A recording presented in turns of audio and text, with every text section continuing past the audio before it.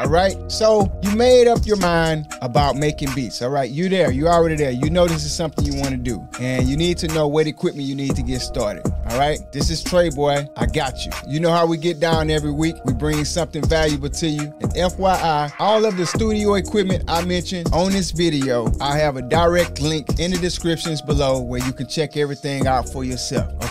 So the first thing you would need is a computer, desktop, or a laptop. All right. Computer desktop. That's what I'm talking about. So computer desktop, you know what that is. That's where you have the actual computer to sit on the desk and you may have a, a separate CPU. You can use that or you can use a laptop. Okay. Everybody know what that is and most of us have computers. Most people already have one, so I won't go deep into which one you should get. I use a MacBook Pro. I've been using that since I started. I also have a Mac desktop that I use as well, but you can use whichever one you want. You don't need both. Okay. You don't need both. Just choose one. If you want both, you know, I wouldn't suggest that. You can start off with one, a laptop, and then go from there. Just make sure the operating system can handle your DAW, which brings us to number two. You need a DAW, all right? DAW stands for Digital Audio Workstation. The DAW is a software that converts an analog signal to a digital signal. It allows you to play sounds and samples on the hardware and transfer it into your computer so you can see it on the screen digitally. On your computer screen, you'll be able to see everything.